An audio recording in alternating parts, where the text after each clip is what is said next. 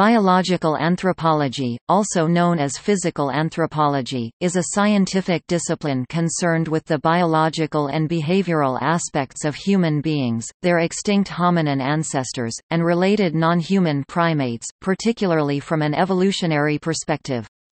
It is a subfield of anthropology that provides a biological perspective to the systematic study of human beings.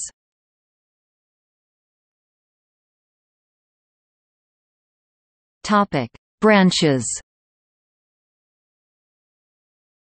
As a subfield of anthropology, biological anthropology itself is further divided into several branches.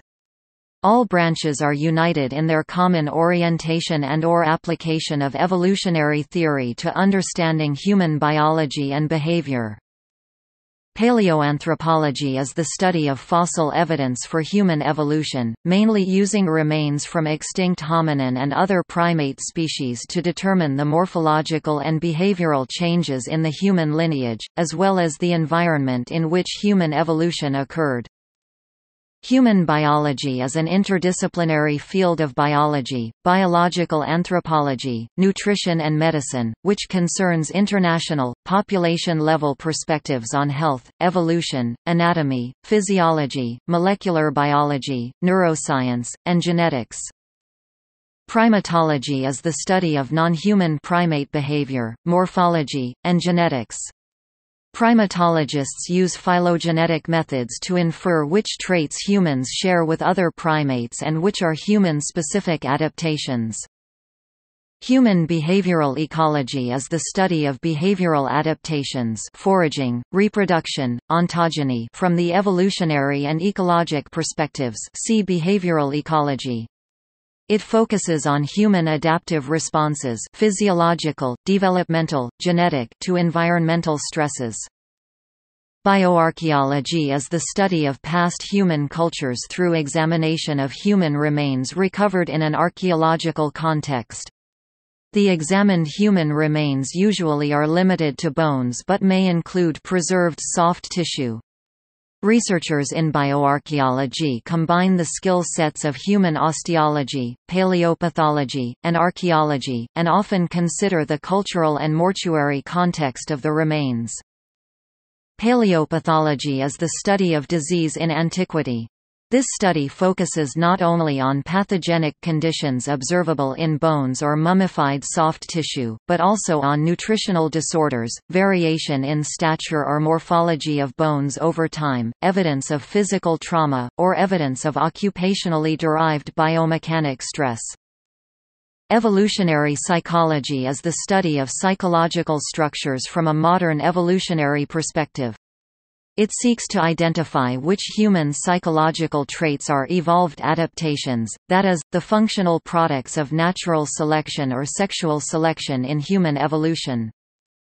Evolutionary biology is the study of the evolutionary processes that produced the diversity of life on Earth, starting from a single common ancestor. These processes include natural selection, common descent, and speciation.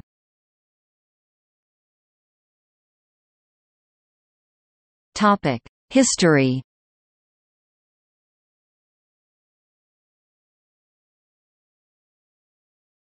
Topic: Origins. Biological anthropology looks different today than it did even 20 years ago. The name is even relatively new, having been physical anthropology for over a century, with some practitioners still applying that term. Biological anthropologists look back to the work of Charles Darwin as a major foundation for what they do today. However, if one traces the intellectual genealogy and the culture back to physical anthropology's beginnings going further back than the existence of much of what we know now as the hominin fossil record then history focuses in on the field's interest in human biological variation. Some editors, see below, have rooted the field even deeper than formal science. Attempts to study and classify human beings as living organisms date back to ancient Greece. The Greek philosopher Plato c. 428 c. 347 BC placed humans on the Scala Natura, which included all things, from inanimate objects at the bottom to deities at the top. This became the main system through which scholars thought about nature for the next roughly 2,000 years. Plato's student Aristotle c. 384–322 BC observed in his History of Animals that human beings are the only animals to walk upright and argued, in line with his teleological view of nature, that humans have buttocks and no tails in order to give them a cushy place to sit when they are tired of standing. He explained regional variations in human features as the result of different climates. He also wrote about physiognomy, an idea derived from writings in the Hippocratic corpus. Scientific physical anthropology began in the 17th to 18th centuries with the study of racial classification. Georgius Hornius, François Bernier, Carl Linnaeus, Johann Friedrich Blumenbach, the first prominent physical anthropologist, the German physician Johann Friedrich Blumenbach (1752–1840) of Göttingen, amassed a large collection of human skulls Decas Craniorum, published during 1790–1828 from which he argued for the division of humankind into five major races termed Caucasian, Mongolian, Ethiopian, Malayan and American. In the 19th century, French physical anthropologists, led by Paul Broca (1824–1880), focused on craniometry, while the German tradition, led by Rudolf Virchow (1821–1902), emphasized the influence of environment and disease upon the human body. In the 1830s and 1840s, physical anthropology was prominent in the debate about slavery, with the scientific, monogenist works of the British abolitionists James Cowles Prichard (1786–1848), opposing those of the American polygenist Samuel George Morton (1799–1851). In the late 19th century, German-American anthropologist Franz Boas (1858–1942) strongly impacted biological anthropology by emphasizing the influence of culture and experience on the human form. His research showed that head shape was malleable to environmental and nutritional factors rather than a stable, racial trait.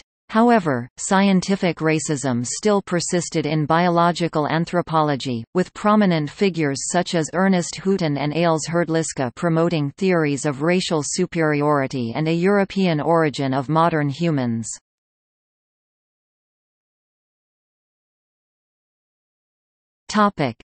New physical anthropology In 1951 Sherwood Washburn, a former student of Hooton, introduced a «new physical anthropology». He changed the focus from racial typology to concentrate upon the study of human evolution, moving away from classification towards evolutionary process. Anthropology expanded to include paleoanthropology and primatology.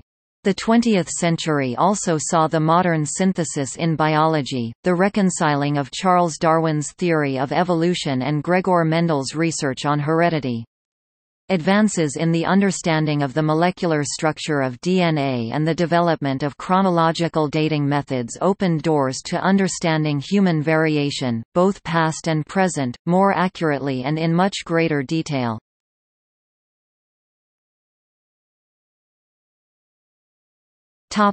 Notable biological anthropologists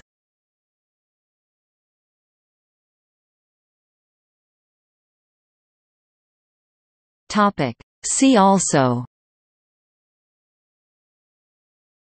Anthropometry, the measurement of the human individual Biocultural anthropology Ethology Evolutionary anthropology Evolutionary biology Evolutionary psychology Human evolution Paleontology Primatology Sociobiology